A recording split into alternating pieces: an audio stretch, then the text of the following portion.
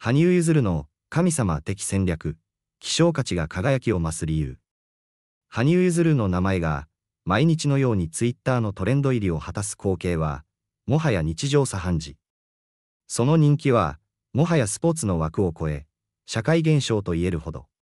しかし、そんな彼が地上波で見られるのは、東和薬品の CM のみ。彼の姿は、まるで伝説の宝箱に隠された秘宝のように、ちらりとしか見えず、その希少性こそが、彼の魅力をさらに増しているのではないかと、多くの人が感じているのではないでしょうか。この現象は、私たちに、希少価値というものが、いかに人の心を引きつけるのかを改めて考えさせます。ダイヤモンドが、その希少性ゆえに高い価値を持つように、羽生結弦の存在も、私たちにとって、まさに、希少価値そのものと言えるでしょう。では、なぜ羽生結弦は、地上波で頻繁に見られることを選ばないのでしょうか？その理由は、彼を取り巻く環境、そして彼自身の考え方に深く関係していると言えるでしょう。まず、彼の所属事務所である A スタイルは大手事務所とは異なる独自の戦略をとっていることが挙げられます。彼らが重視するのは羽生結弦というブランドの価値を高め、長く輝き続けること。そのため、安易な露出は避け、厳選された場でのみ、彼の魅力を最大限に引き出すことを目指しているのでしょう。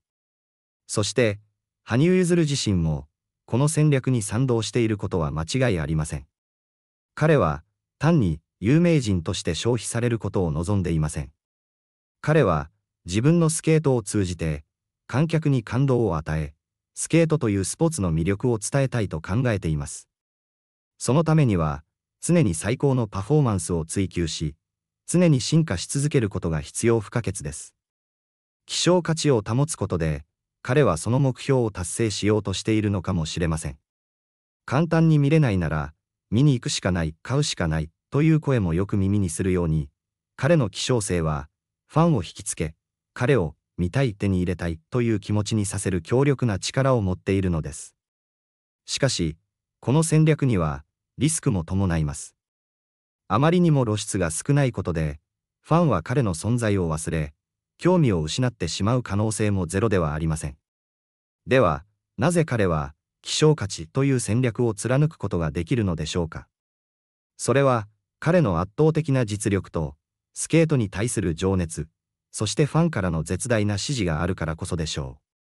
彼の演技は、単なる技術の披露ではなく、芸術作品そのもの。観客は、彼の演技を通じて、喜び、悲しみ、希望、そして絶望といった様々な感情を共有し、その深さに心を打たれます。彼のスケートは単なるスポーツではなく、人々の心を揺さぶる力を持った芸術作品なのです。そして、彼の情熱は彼の演技から伝わってくるだけでなく、彼の言葉や行動からも伝わってきます。彼は常にスケートの進化を追求し、新しい表現に挑戦し続けています。その姿勢は多くのファンを魅了し、彼を応援する心を燃え上がらせています。さらに、彼のファンは、彼の努力や才能を理解し、彼を心から支持しています。彼の演技を見たファンは、彼の才能と努力に感動し、彼を神様と呼ぶほどに。彼の存在は、多くの人々に希望を与え、夢を叶える力を与えています。彼を応援するファンは、彼の努力と才能に共感し、彼の成功を心から喜んでいます。しかし、羽生結弦の存在は、私たちに、希少価値というものの本質を突きつけると同時に、新たな課題も突きつけています。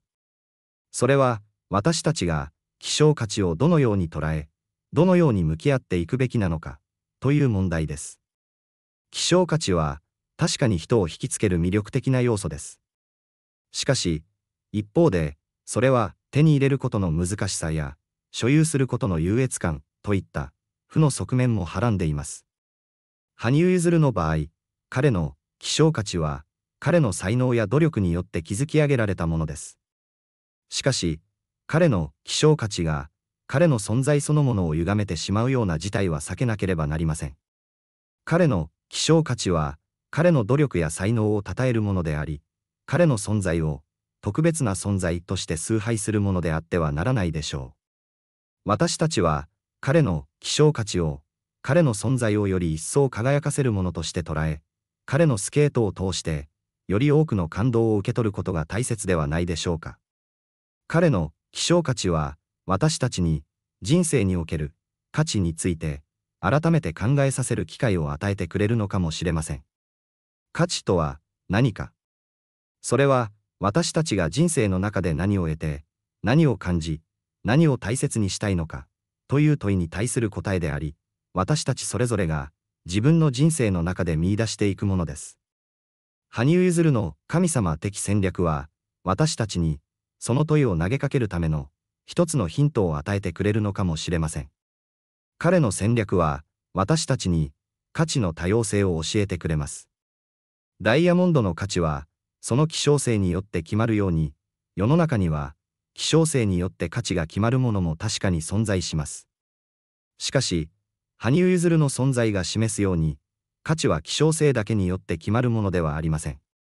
彼のスケートは、彼の努力と才能、そして彼のスケートに対する情熱によって生まれた、かけがえのない芸術作品です。彼の価値は、私たちが彼のスケートから感じる感動や、彼の努力から受ける影響によって生まれます。私たちは、彼の希少価値だけでなく、彼の価値の多様性に目を向け、彼の存在から様々な学びを得ることが大切です。羽生結弦さんという存在は、今や単なるフィギュアスケート選手を超えて、神秘的なカリスマ性を持つ人物となっています。彼の存在感は、単にその技術や実績にとどまらず、彼自身が持つ希少性や神秘性によってさらに高められているのです。地上波で彼の姿を見かける機会は極めて限られており、それが逆に彼の価値をより一層引き立てています。まるで手に入れるのが困難なレアカードのように、彼の姿を目にすることができるのは、一握りの幸運な瞬間に限られています。この希少価値が彼の魅力をさらに増幅させ、ファンの間で彼への渇望が高まっているのです。広告代理店やスポンサーが彼をどう扱うかという問題は、単なる商業的な判断にとどまらず、彼のイメージやブランド価値をどう維持し、さらに高めるかという戦略的な問題でもあります。また、羽生さんが自らのキャリアをしっかりとコントロールしていることも、彼の成功を支える重要な要素です。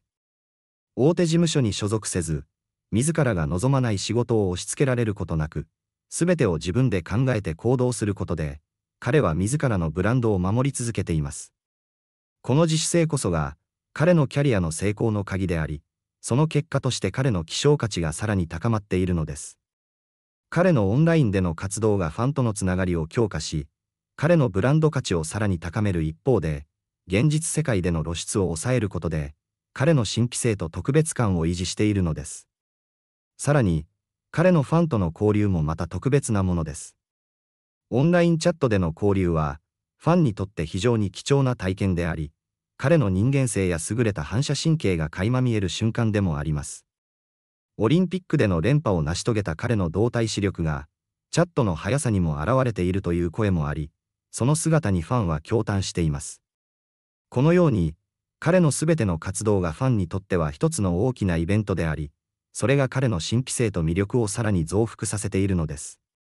とはいえ、広告代理店やスポンサーの中には、彼の露出を増やした方が利益につながると考える者もいるでしょう。しかし、現在のメディア環境やファンの反応を考えると、過剰な露出はかえって彼の価値を損なう可能性が高いです。